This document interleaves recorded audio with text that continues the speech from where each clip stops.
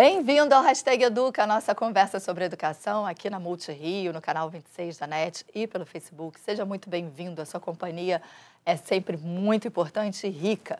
Por isso eu te convido a participar do, do programa de hoje, colocando nas postagens do Facebook né, as suas impressões, tirando as suas dúvidas, contando a sua experiência. A gente no Facebook costuma também compartilhar mais conteúdo sobre o tema discutido no programa. E se você preferir, estiver acompanhando o hashtag aí para o conforto de uma tela maior, mas estiver com o seu dispositivo móvel aqui do lado, ó, o celular, você pode também dar o seu recado pelo nosso número do WhatsApp. Mas participe, a sua participação é extremamente importante. E o assunto de hoje, eu, eu te desafio, assim, se você já não observou, ou se você convive, ou pelo menos no seu bairro, na sua escola, no seu trabalho, você já deu uma olhada que o pessoal de 60 anos ou mais, a chamada terceira idade, é, vem se sentindo cada vez mais rejuvenescida, cada vez mais revigorada e com vitalidade? Essa sensação, será que é só uma sensação? Ou a gente realmente está passando por um processo de transformação e os 60 são os novos 40, enfim, estamos envelhecendo melhor? Eu vou trazer para vocês uns dados, peço desculpa pela rouquidão da voz hoje. Olha só, uma pesquisa feita pelo Escritório de Estatísticas Nacionais do Reino Unido, publicada em 2016, constatou que quem tem entre 65 e 79 anos se considera muito feliz, satisfeito e cheio de vida. Agora tem mais curiosidade aqui, né? Estamos diante de novos idosos? Os 60 anos são os novos 40, será? E o que, que faz uma pessoa entre 65 e 79 anos, por exemplo, se sentir mais satisfeito e mais feliz? Né? O conceito de felicidade é até relativo. Hoje, que a gente conversa sobre essas oportunidades, como envelhecer de uma maneira saudável, com duas pessoas que têm histórias fantásticas de vida e projetos né? não só projetos científicos, projetos acadêmicos, mas projetos de vida também muito interessantes. Quem conversa com a gente é Renato Veras, médico, professor da Universidade do Estado do Rio de Janeiro, a UERJ, diretor da Universidade Aberta da Terceira Idade, a UNAT, também na UERJ, e doutor em medicina. Seja muito bem-vindo ao Hashtag Educa, professor. Obrigado, é uma honra tê-lo aqui, aqui, representando a UNAT, que é um projeto fantástico. Muito obrigada, viu? E ao meu lado, é, eu não sei nem o que dizer, gente, porque eu não corro daqui à porta do estúdio. Mas do meu lado tem uma pessoa que é uma aula de vida. A gente vai conversar com a dona Lindalva Pereira da Silva Figueiredo. Ela é dona de casa, trabalhou por um bom tempo como diarista, não foi isso? Trabalhei em casa de família por um bom tempo. 73 anos, eu vou dizer para você, viu? Maratonista. Está achando que é pouca coisa? Não é não, tem que ver o vigor dela aqui antes do programa começar, o que, que a gente estava conversando. Muito obrigada e muito bem-vinda ao Hashtag Educa, viu? Obrigada. Obrigada por ter vindo. Traba... Para a gente começar a conversa, e aí Dona Lindalva pode falar da, da, sua experiência própria e, de repente, a gente pode olhar pelo ponto de vista de medicina. O que, que é, de fato, envelhecer? O que, que é envelhecer para a senhora? Olha, eu, quando eu era jovem, eu era uma pessoa que carregava muitos problemas na minha vida. Quando eu cheguei aos 64 anos, problema de saúde, o médico falou que eu tinha que fazer uma atividade física, que minha filha já corria, mas eu nada de querer. Aí depois aproveitei a, a companhia da minha filha, comecei a caminhar, caminhar, depois passei a correr escondido dela. Depois voltei, o médico, fiz o teste na esteira, ele me liberou para correr. Aí eu acordei. Aí, aí daquele dia para cá eu passei a viver. Antes eu não vivia, sinceramente. Desse dia para cá, graças a Deus, eu vivo, eu sou feliz. Eu já corri a região dos Largos inteiros, 21, 21, 21. Fui para São Paulo, fui para Minas Gerais, fui para Bahia, fui para Bahia. Tudo isso em corrida. Olha e, isso, gente, eu estou até humilhada. Não sei nem o que dizer. E aos 70 anos, a minha filha me treinou para a primeira maratona, porque eu tenho um grupo jovem que me acompanha a vida inteira. Ele não me larga. Ah, a senhora pode fazer a maratona? A senhora pode fazer? Eu digo, é, então vou tentar. Foi a melhor maratona da minha vida. A primeira eu ganhei troféu na primeira maratona. Consegui o troféu da terceira idade, graças a Deus. Gente, primeira maratona, troféu da, da terceira idade. Envelhecer é envelhecer com saúde, é envelhecer com a cuca boa. O que, que é envelhecer? Renato? Envelhecer é algo natural. E nós temos que entender que envelhecer é bom. Ruim é antigamente, que a expectativa de vida era de 30, 40 anos. Então, sabendo disso, o que nós temos é que nos preparar para um desgaste orgânico é, natural. Um coração de uma pessoa de 90 anos batendo 70 vezes por minuto, é claro que vai estar muito mais depauperado, muito mais sofrido do que um menino de 15.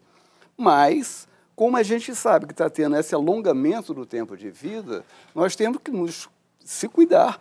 Fazer atividade física é muito importante, uma alimentação mais saudável e se preocupar né, com esse processo natural do desgaste, ou seja, prevenindo que você, em termos de área, de área da saúde, você tenha o acompanhamento o mais é, constante para detectar os problemas de saúde antes que ele ocorra é quase que inevitável, a partir de um determinado momento da vida, 60, 70 anos, você começa a ter as doenças crônicas, hipertensão, diabetes, mas se você domesticar essa doença, se você estabilizar, se você tiver uma alimentação adequada, medicamento o mínimo possível, mas aquele preciso, que não tenha muitos médicos, tem o seu médico, o modelo médico-família, nós... É, você falou dessa pesquisa inglesa. A Inglaterra é um exemplo do mundo, né? que eles chamam do GP, o médico clínico que acompanha você o resto da vida. Ele é quem encaminha o especialista se houver necessidade. Porque quem tem muito médico não tem nenhum. Você precisa ter um médico, aquele médico de família, aquele médico tradicional que te conhece, com um bom sistema de informação. Nós estamos conversando sobre isso, né?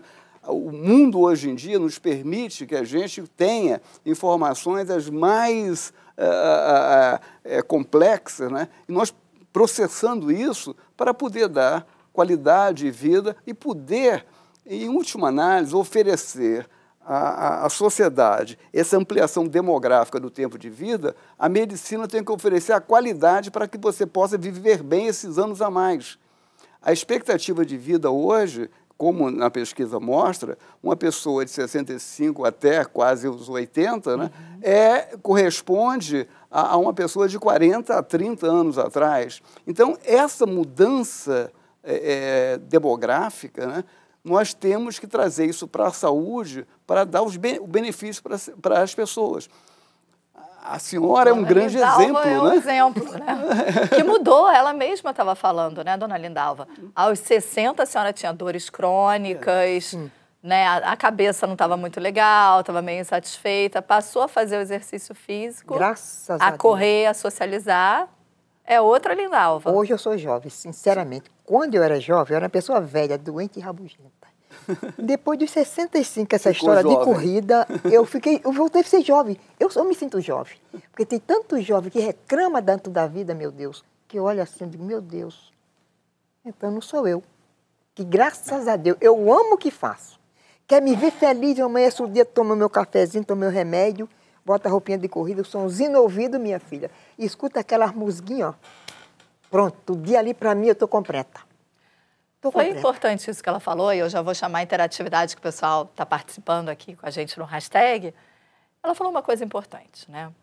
Ela passou a trabalhar o corpo, e eu queria que a gente falasse sobre isso, que substâncias são é, lançadas mesmo no nosso sangue, no nosso organismo, quando a gente faz exercício uhum. físico, faz com regularidade. Uhum. Para a mente, o que, que acontece em termos de cognição, o esporte nesse sentido, para a mente mesmo, para o cérebro. E a, e a importância da, da, valorização, da socialização. Claro. É, a dona Lindalva hoje é uma pessoa que tem um projeto de vida. Projeto é fundamental. A próxima maratona, a próxima corrida, o treinamento. Então, isso ocupa o dia a dia dela de uma forma absolutamente saudável. E é esta que é a grande importância. Você tem que ter perspectiva. O grande problema do idoso de antigamente é que ele se aposentava, ia para o aposento, né? E ficava quietinho esperando o quê? Esperando a morte. Esperando você não tinha morte, nenhuma outra perspectiva. Hoje em dia, se você tiver projetos de vida e mais, com a certeza que o, o alongamento dos anos a ser vividos está dado, o nosso papel é não permitir que as doenças atrapalhem esse avançar dos anos que todos terão. Antigamente, eu, eu sempre cito isso em pesquisa, o que é uma balzaquiana, né? A Na década, é, é, é, era uma velha, caquética de 30 anos. Hoje, uma menina começando a vida. Por quê? As moças na França, olha que a França nesse período, é, século XIX, um, país absolutamente importante, desenvolvido, as moças, a partir dos 15, 16 anos, começavam a ter vários filhos, por quê? Tinham que ter muitos, porque alguns não iriam vingar, né, como, se, como se dizia. Seis, sete, oito filhos para ter dois, três no, no final. Aos 25 anos, o papel dessa moça foi ter um filho por ano, estava uma senhora velha, caquética, muito próximo da morte, ela sabia disso, e a expectativa de vida, talvez no país mais importante do mundo, era 30 anos. Então a vida era muito curta. Essa transformação é a grande conquista desse momento que nós vivemos. Agora, o, pa... Desculpa, o papel é, é, da medicina, o papel social, o papel da organização dos espaços urbanos é oferecer as condições para que a gente possa chegar lá, vamos chegar, mas chegar bem chegar com qualidade.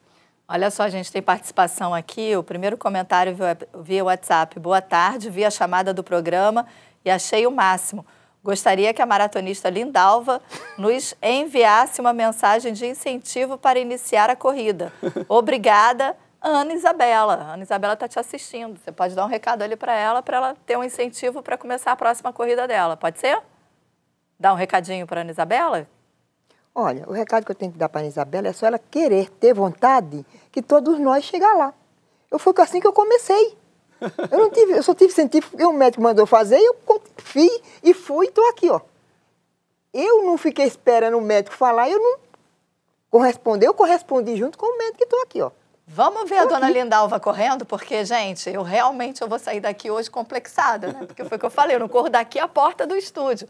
Vamos dar uma olhada na dona Lindalva, né? Cadê a velha? Olha lá.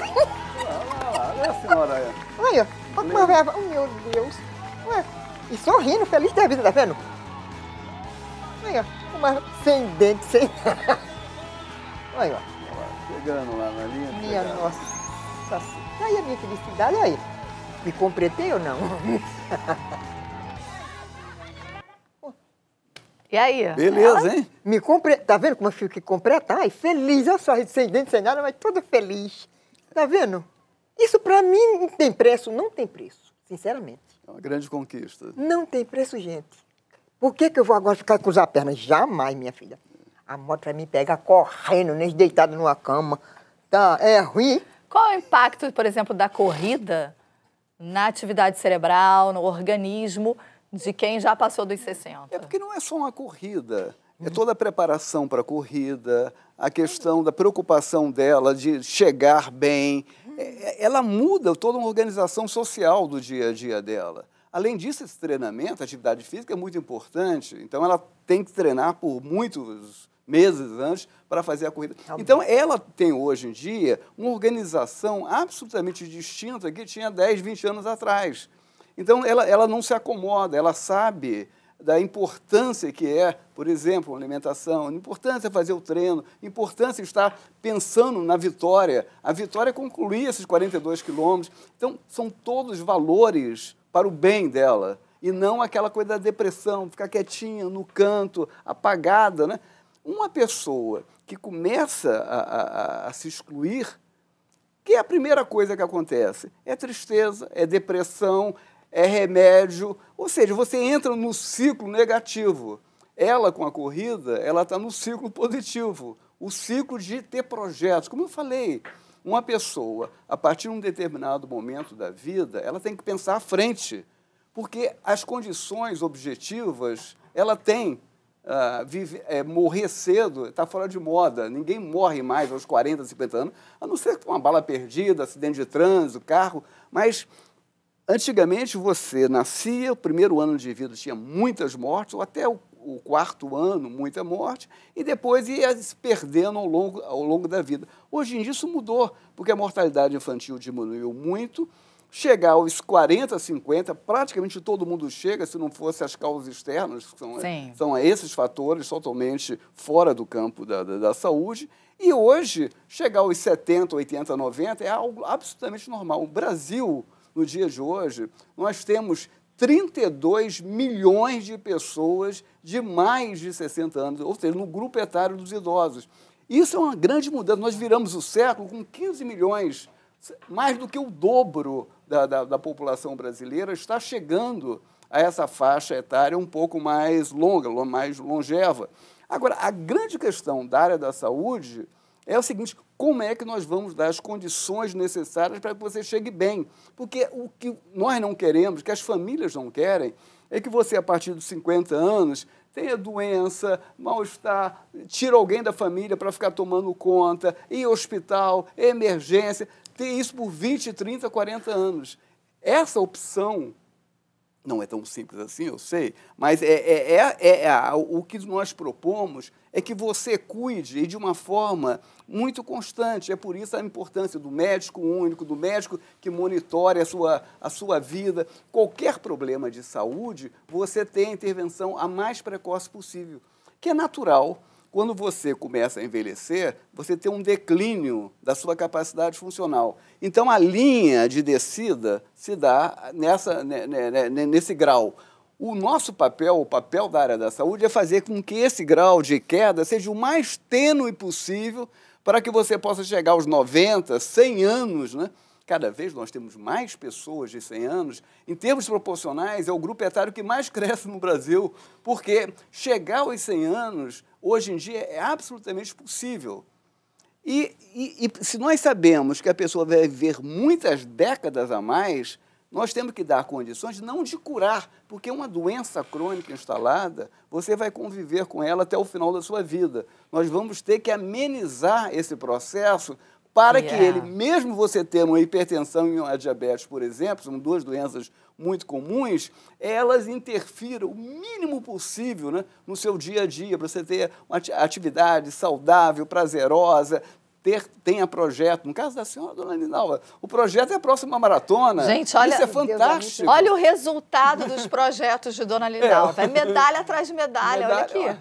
É, o, Olha que projeto belo, né? A próxima medalha, do, da, mas não é a medalha pela medalha, é a medalha da grande conquista da senhora, que é atingir os 42 quilômetros ah. e saber que isso está dando qualidade de vida, está é, tá dando conforto é, para a senhora.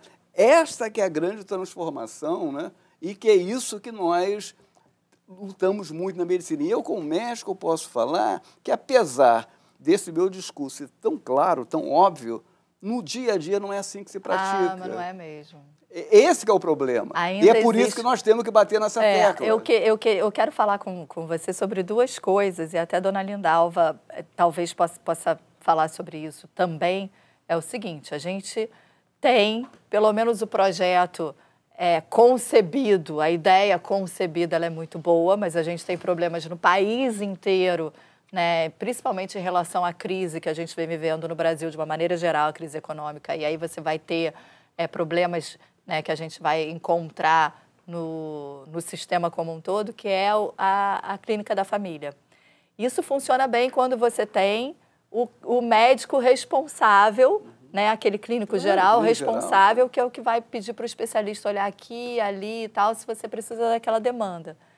Mas plano de saúde, também seguro de saúde, é uma coisa muito cara né, na nossa realidade brasileira. E aí vai envelhecendo, a gente também tem uma participação do idoso ainda na economia doméstica, porque ele volta para o mercado de trabalho muitas vezes para pagar as contas da família como um todo, mesmo aposentado, né, né dona Lindalva?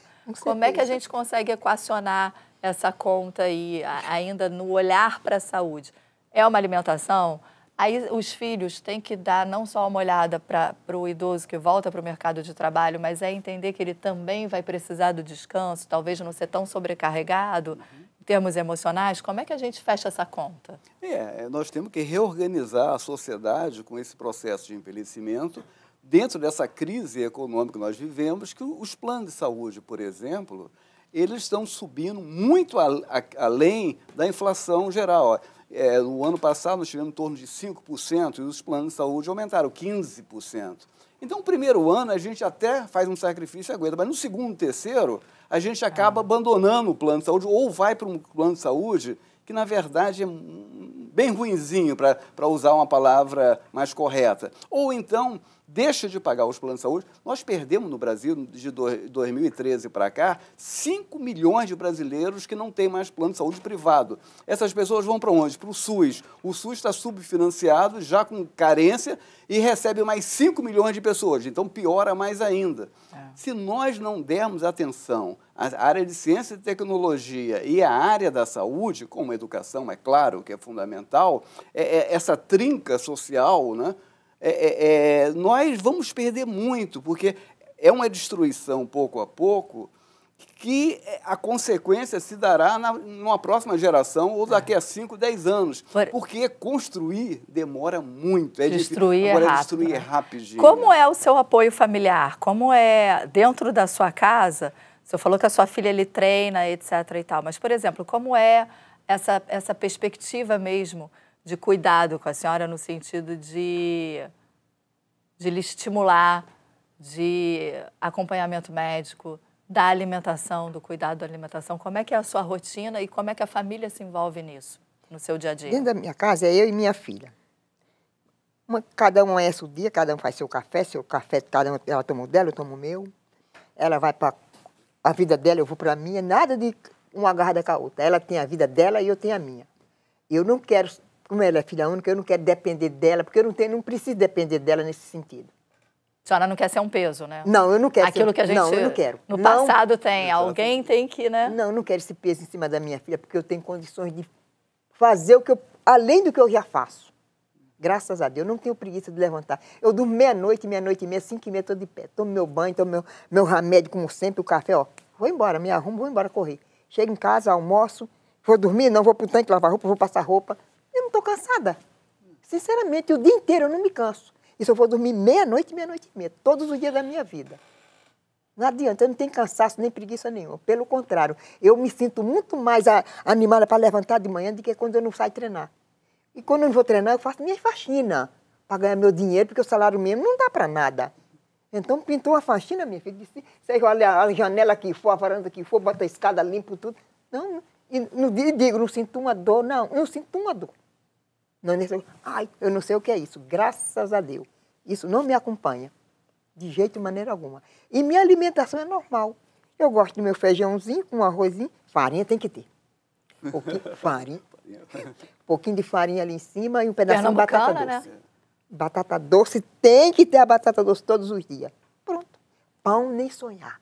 Massa em pão, lasanha, pizza, essas coisas não faz parte, macarrão não faz parte do meu prato. Não faz. Mas por causa da corrida? Não, porque, por... porque eu não gosto mesmo. Nunca gostei de massa em geral. Nunca, nunca, nunca, nunca. A massa minha mesmo é batata doce, a empim e inhame. São essas três massinhas que eu gosto. Pão, banana, eu pego uma banana prata, depende do tamanho. Se for grande é uma só, se for pequena é duas. A massa de manhã cedo, bota, bota aveia ali, um pouquinho de mel, pronto, vou embora caminhar. Quando eu chego, venho almoçar uma hora, duas horas, não sinto fome. E de noite o nosso lanche é um lanchinho é fruta, eu como uma maçã, uma pera, qualquer coisa para dormir. Eu Como é médico, essa, essa dieta da dona Lindalva, é, é, é incrível, porque o, o Pelo gente... menos não vai fazer o açúcar de madrugada, né? Ela vai queimar. É interessante, porque quando as pessoas falam, os nutricionistas falam em dieta, né? Fala da famosa dieta mediterrânea, que é muito boa. Mas é uma dieta que você tem muitos legumes, azeite puro de oliva, é, é carne branca de peixe. É excelente, mas é caro. E é. talvez não seja a dieta que o povo brasileiro está acostumado. Arroz, feijão, um prato bem colorido, né? a gente sabe que com legumes é muito importante. Agora, a, a, a, essa que é a grande questão. Quando a gente fala de uma dieta adequada, uma alimentação saudável, a primeira coisa que vem na cabeça das pessoas tem que nutricionista, tem que comprar aquele remédio, não sei o quê, tem que ser puro, é, o, o solo é tanta dificuldade, obviamente o preço é mais caro, não é isso. Você pode se alimentar muito bem, de uma forma bastante saudável, com a sua cultura, com a sua, o seu dia a dia.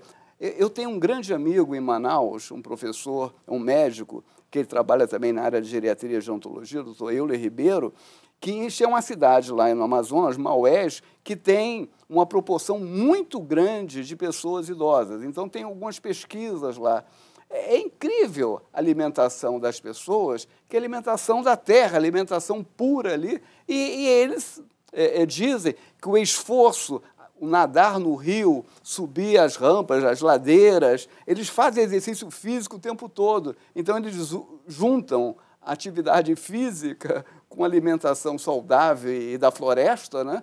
e tem um, uma percentual de pessoas acima dos 80 anos maior que o conjunto do país. A gente tem uma pergunta sobre isso aqui, olha, Davi Lima. A ausência de produtos ultraprocessados durante a infância e a juventude contribui para o envelhecimento desses idosos, um envelhecimento saudável, já que há ausência? É, não tenha dúvida que nós sabemos hoje muito bem né, dos, do, do, do, dos fast food, né, da, da, da, das, dos alimentos muito gordurosos, processados, né, que são, é, é, é, estão na, na, na prateleira de todo o supermercado. Aí.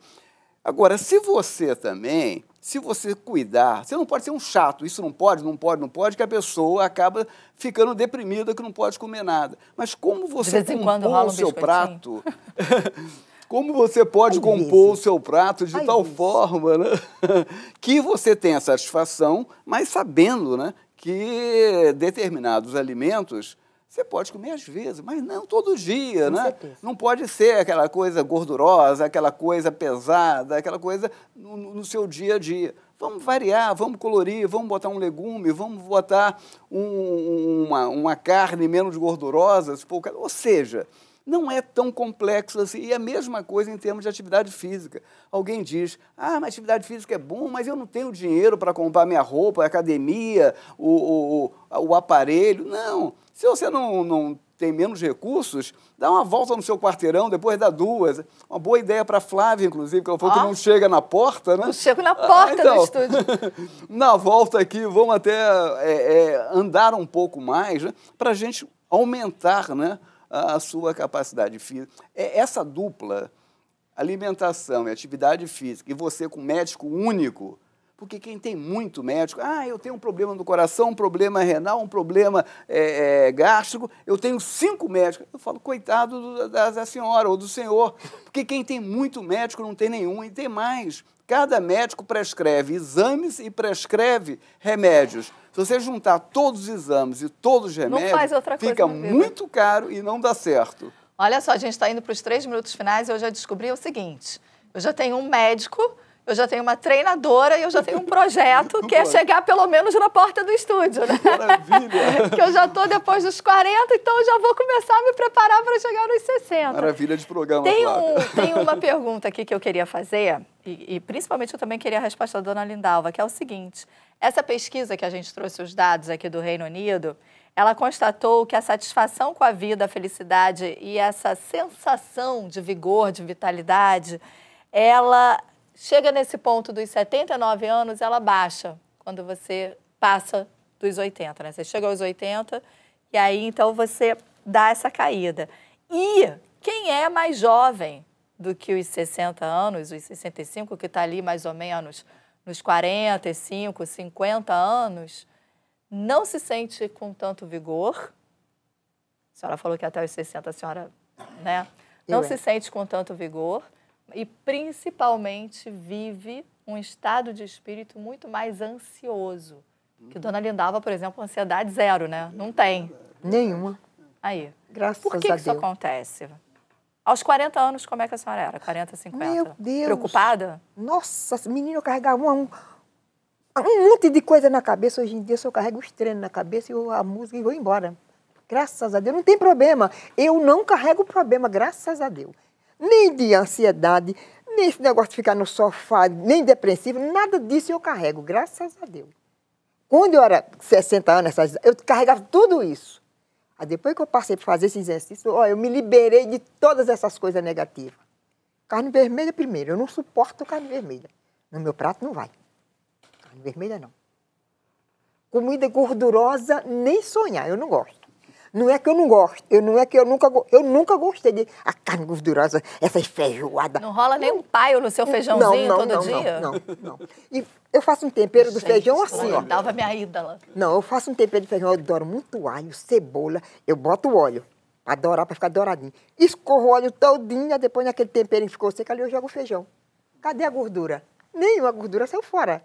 Não fica gordura nenhuma. Eu não gosto de comida gordurosa. Não me faz bem.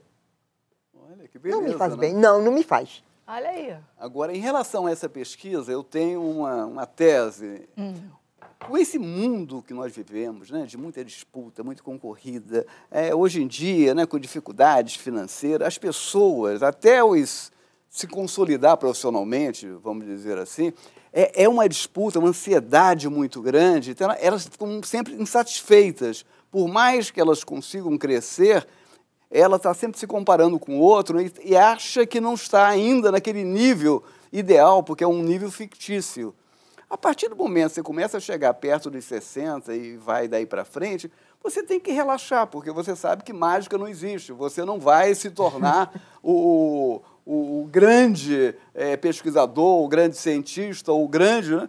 é quando você, durante a sua trajetória toda, você não teve essa oportunidade, essa chance, não obteve isso. Então você relaxa, você começa a usufruir da vida, você começa a ser uma pessoa mais satisfeita com suas conquistas, né? porque nós temos que valorizar as nossas conquistas.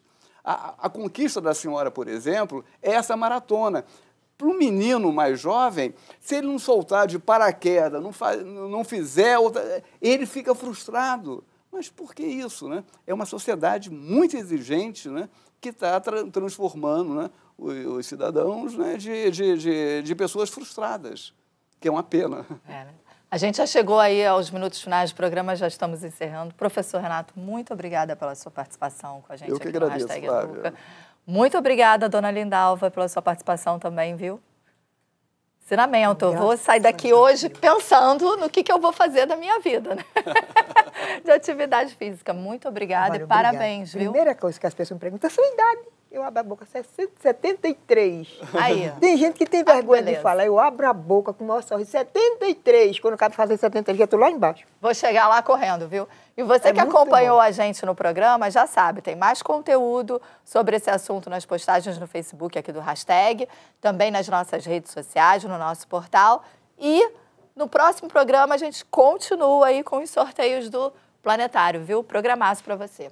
Até o próximo Hashtag Educa. Tchau!